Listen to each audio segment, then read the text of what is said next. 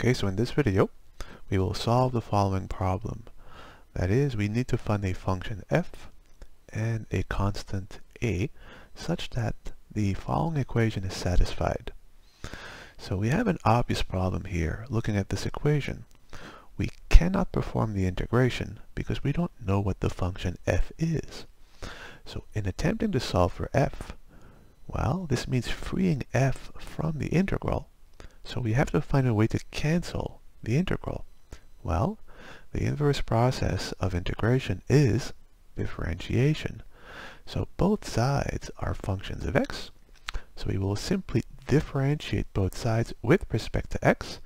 This will eliminate the integral and allow us to solve for f. Once we know what f is, we can perform the integration and then we will be able to solve for a. Now, remember when we have to differentiate an integral of the type a definite integral, the way to make this as simple as possible is simply to rewrite the integral using the fundamental theorem of calculus, writing the integral as a difference of antiderivatives. So, by the fundamental theorem of calculus, the definite integral is simply f of x squared minus f of it. And again, uppercase f is not any function. Uppercase f is an antiderivative of the function being integrated, which means the derivative of uppercase f at t, since the function that we are integrating here is with respect to t, so again, f being an antiderivative of the function being integrated, is a fancy way of saying that the derivative of uppercase f is this function.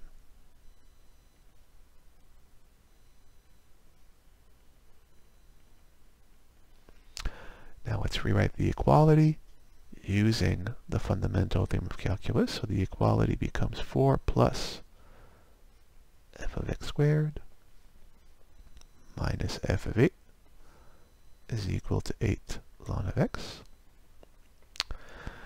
And now, as we've just said before, to eliminate the integral, we simply take the derivative of both sides with respect to x, as both sides are functions of x.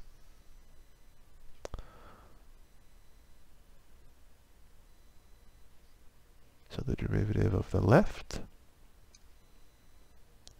with respect to x will equal the derivative of the right with respect to x.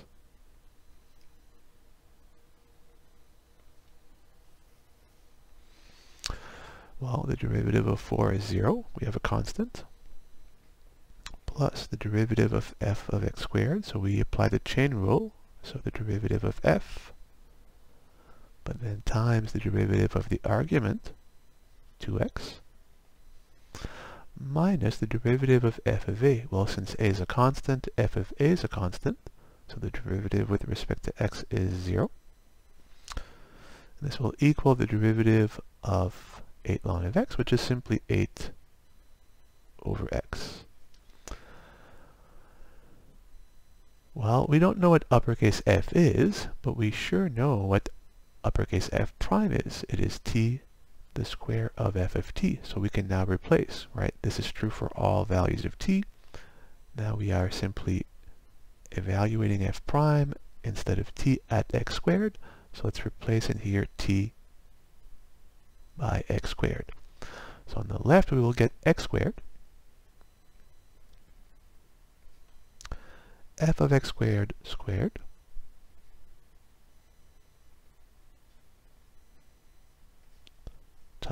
2x is equal to 8 over x. Well, we can isolate this term, so we have here 2x cubed right, we can divide across.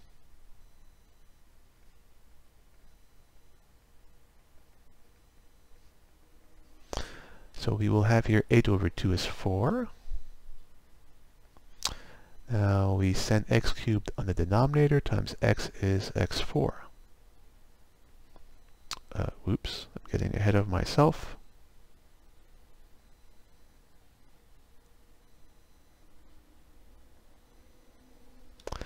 Well, we want to undo the square here, so we take the square root on both sides. Remember there are two solutions, right? The positive and the negative square root.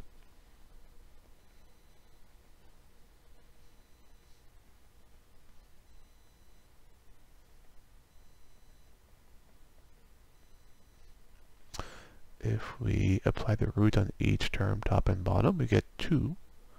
The root of x4 is, of course, x squared. And you can see where my mind was when I wrote x squared here. I was getting ahead of myself. So there are two possible answers for f of x squared. It could be the positive or the negative solution. And we don't quite have f of x, but we have f of x squared. But notice that to go from f of x squared to f of x, we simply have to make the substitution of replacing x squared by x, since x squared is a variable, so if f of x squared is plus or minus 2 over the same argument, x squared, then f of x will be plus or minus 2 over x.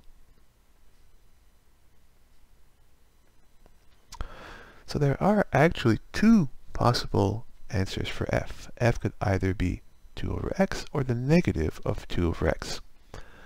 And now that we know what f is, lowercase f, we can replace in the original integral, simplify, perform the integration, and we will then be able to solve for a. So let's do that. Again, replacing here f of t by plus or minus 2 over x, replacing x by t.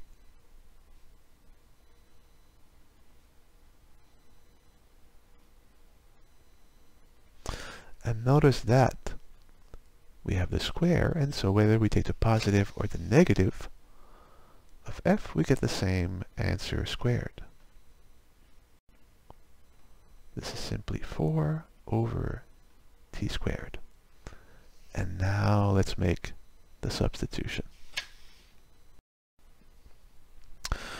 So we get 4 plus the integral from a to x squared of t times the square of f of t, which is 4 over t squared, dt. And this is equal to 8 ln of x. Well, we can simplify here, right? So this is uh, simply 4 over t.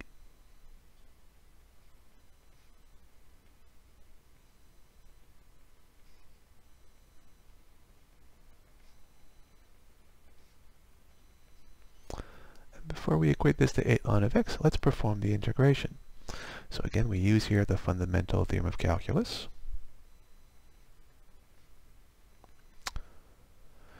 The function whose derivative is 1 over t. This is, of course, the ln of t in absolute value, so we have the antiderivative.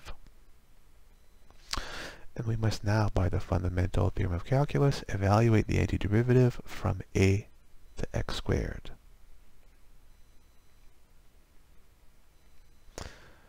We will get 4 plus the antiderivative at x squared for the ln of x squared in absolute value. Now we can drop the absolute value since x squared is positive.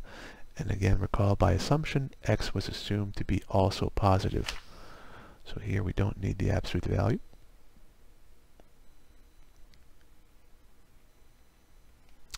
Minus 4, the ln t replaced by a. Now here we need to keep the absolute value because we don't know whether a is a positive or a negative real number.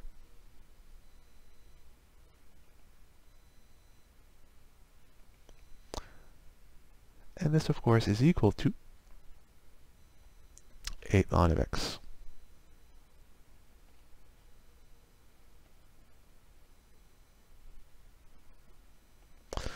Now you might wonder how do we solve for a here since there seems to be another variable, namely x. But we can use a basic property of logarithms to simplify and we will see that x actually cancels out, right? We can bring the 2 up front as a constant multiple. Side will become 4 plus, well, 2 times 4, 8 ln of x.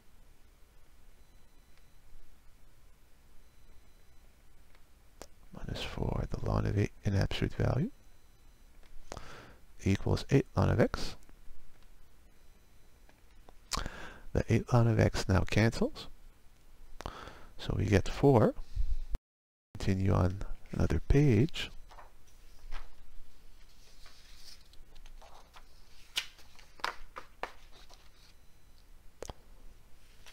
So let's rewrite what we have so far. Again, the 8 ln of x is cancelled. So we will get 4 minus 4 ln of a in absolute value is equal to 0. And now we can easily solve for this equation.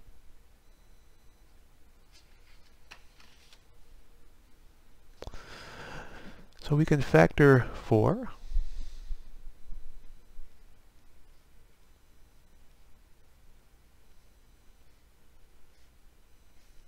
divide across by 4, 0 over 4 is 0, so we have 1 minus ln of a in absolute value is equal to 0. We can send the ln of a here, and so we will get ln of a in absolute value equals 1. Let me write it backwards. So the ln of a in absolute value is equal to 1. To cancel the ln, we take the exponential base e on both sides, since e to the x is the inverse of ln of x. So E cancels the ln. We have A in absolute value is equal to E. We can remove the absolute value. And we have again two solutions. Either A is the positive of E or the negative of E. And this completes the solution. So we have two possible answers for A and two possible answers for F. So if we write the conclusion here, is either plus or minus e, and if you recall, f of x was plus or minus 2 over x.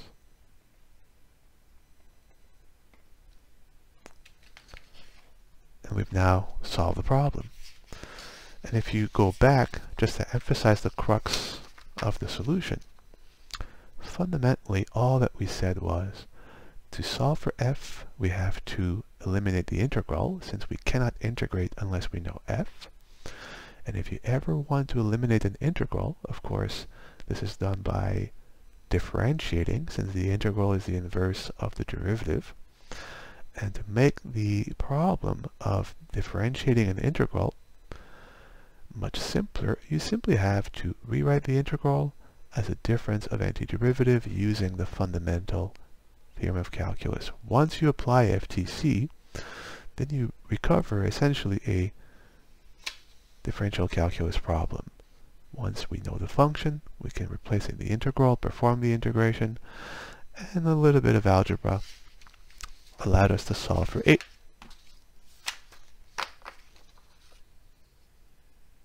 And that's it.